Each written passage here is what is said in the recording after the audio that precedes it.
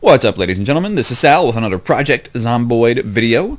This one's going to be over combat and some advanced zombie behavior. Uh, I do want to do a construction video, I'll probably try to get that one done today, but who knows, uh, we have to clear things out before we can do construction. Why is that? Because zombies hear pretty well, as it turns out in this game. Uh, they hear, in fact, most of the time better than they can see. So, we have, uh, in this particular instance of the game, we have our, uh, our good man Bill Murray, don't ask why he's named that. Um, Bill Murray, let me see, just to just to go over things real quick here. Bill Murray took the traits of Axeman, so he is a fire officer. Sadly, we don't have an axe right now. He's also uh, ooh, also athletic, so he can run for a long distance if he has to uh, without getting tired. That can be a useful thing. Um, we might see that happen today, but really what we're worried about is how these zombies behave. So I'm going to press F2 to unpause it. And I'm going to be creeping around the inside of my house, trying not to make any noise. There should be an upstairs in this one. I actually, yeah, there we go. trying to remember how this house was laid out. Uh, I would prefer to sleep upstairs with sheets on all my windows just because that way not only can zombies not hear me oh hello that's an open sheet that is that is no good okay not only can zombies not hear me up here but uh, the likelihood that they break into my house and then somehow also find their way upstairs, very, very low. So carpentry for intermediates. That's actually an important thing. Um, all these carpentry for beginner, intermediate, advanced. We'll talk about those later, but that's a, a neat thing to have. Anyway, we're going to go to sleep because we're tired. And being very tired means your awareness is reduced, which means it's harder for you to see zombies. Uh, your, your field of vision, basically, the cone narrows around you, and also your hearing radius is reduced. So when something's sneaking up behind you, you don't hear it until it is way too late. All right, so we're going to sleep, and we're sleeping upstairs in a window, you know, a windowless room, essentially. Close all the curtains. Um, the likelihood that zombies are going to break up to us is pretty low in my experience, unless there's just a whole ton of zombies hanging around. It's now 620. Uh, it tends to get light enough outside to go out at about 7.30. 7.20, 7.30. So uh, we're going to walk downstairs and check for any zomboids that might have broken into the house overnight. Typically they shouldn't. As long as they don't see me, they don't have that much in the way of a reason to break in.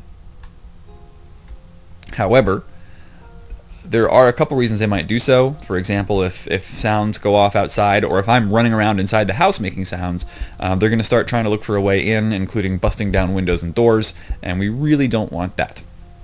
Okay, so time to eat, and then we're going to walk outside and uh, murder us some zombies, clearing the way for construction. I've got an empty pop bottle here. Oh, we should talk about that too real quick, but um, let's go ahead and have something to eat. Where is my foodstuffs? Here we go. Uh, it's morning. Obviously, I want cereal. And there goes all the cereal in the entire game. No, it's it's not an easy thing to find for some reason. Uh, we're going to fill the empty pop bottle. It's going to turn into a water bottle. And as long as I have it uh, held in this particular uh, inventory slot, so in the main slot, right, the, the cardboard thing, that I will drink out of automatically. I don't have to do anything about it. Um, he just automatically drinks out of the water bottle.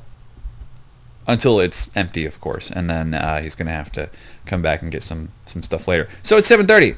I actually don't want to fight with this frying pan. And I'm going to tell you why if you look at the stats on, oh shoot, if you look at the stats on the hammer, uh, and you're going to have to go to the wiki to do this sometimes, or you can pull up the game's code if you want to, um, it's better in every way. It's better in terms of damage. It's the same in terms of a lot of other stuff. Um, it's better in terms of damaging doors. So we're going to go ahead and equip the hammer as our primary, and we're just going to drop this thing back here so we're not over encumbered. Being encumbered is bad. I have a lollipop today, uh, in case we need that. I don't think I'll need the orange soda. I have water, and I've got a, well, let's see, is this, is this good for hunger? It is good for hunger. So, um, well, I've got a lot of orange soda. I didn't realize that. Okay, screw it. We are going out to kill zombies. Zomboids. Means we got to find some. And then we're going to show you how to treat them effectively. You tend to want to take them on one at a time. Um, no matter what weapon you're using, if you find more than five or six, you really need to be careful with that amount. Uh, and right now, since I have the hammer, uh, I'm going to be careful with just about anything. We've got one right here. There's a couple ways we can deal with this, but looks like it has actually seen us from that distance, so we are going to go ahead and just deal with it like this. You notice I'm, I'm not just spamming that mouse button. You really have to time your swings so you get the maximum damage out of it. We go ahead and kill that one. And we're going to start looking for some more. There's a couple things you can do to find zombies. One of them is to shout. Uh, if you press Q, you'll shout something which always strikes me a little bit funny because even when you're like extreme panic mood, he'll just shout something like, "Uh, hey you." It's uh, it's a little weird. This guy, no, okay, I thought he had a really long distance uh, vision radius, but no, he was just moving around. Let's go ahead and call him down here though. And we'll see who else shows up. Now, I'm, I'm spinning myself around with my mouse, kind of doing a, a radar effect. I really, really do not want to be ambushed while I'm fighting one of these zombies. Oh shit. So you'll notice what I did there when I realized the swing didn't go through. I'm going to check my health now. Uh, I got slight damage. That's not good. Um, when I noticed that that swing didn't go through, I tried to run away before the zombies animation finished. When zombies finish that animation, it means it's going to hit you somehow. It could be a punch, it could be a scratch, it could be a bite. Um, you'll know that it is a bite or a scratch because if it's infected, it'll start getting extremely painful and then you'll start getting sick. Right now, it looks like there's no pain. Also, there is no bleeding. I am okay. Therefore, it was just a punch. So once you get back to okay, it means you have no damage left. Good stuff. Good stuff. I'm safe for now. That looks kind of like a crawler, but it's not attacking me, so I guess we're okay. Um, so far, we've only found one zombie at a time. This is good. It's been a very fast zombie. I don't like those. But I'm just going to keep walking down this street until I can find some others. And really, I kind of want to clear uh, just the general radius around my house. I don't want to deal with zombies that are showing up and causing problems while I'm constructing, because constructing makes a lot of noise. And I'm, I'm still walking around trying to generally keep myself uh, combat ready, so I'm holding control this whole time. If I know there's just no zombies for miles around, I'll start walking like this. It's, uh, it's just easier. I don't think it really has any stat effects. It might make you just a little bit more exhausted to be walking around in sneak mode constantly. But I think we're okay.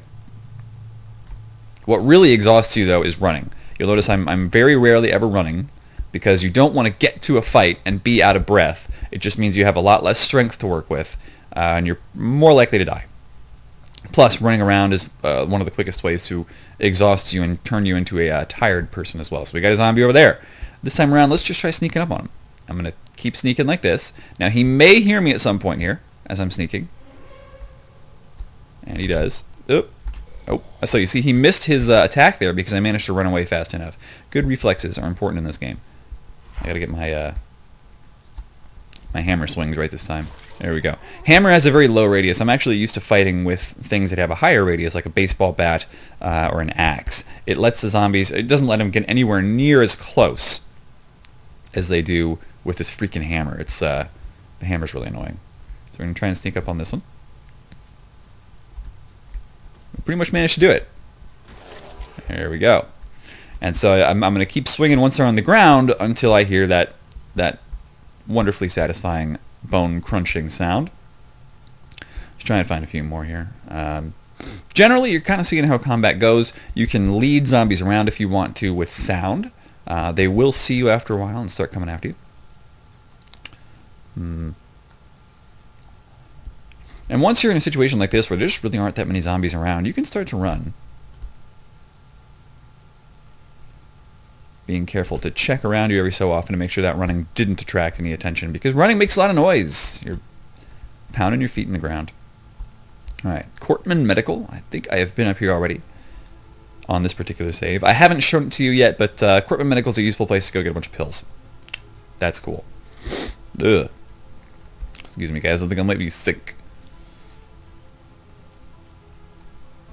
And I think I've pretty much cleared this area out of zombies to the point where I can probably do construction tomorrow. Um, maybe just check for one or two and be perfectly happy. But let's double check everything. We could we could still have some migrating hordes here and here and there. And I think actually I started this game um, short enough ago that zombies might still be spawning. That would not be good. Uh, let's, oh, hello. Come on, buddy. There we go. That was satisfying. Yeah, you can't teabag in this game. I really wish you could. Um, so zombies spawn from day one through day five. That's kind of how this game works. Uh, so if you if this is your first time on a particular world, which by the way, if you die, you can reload the same world with a new character.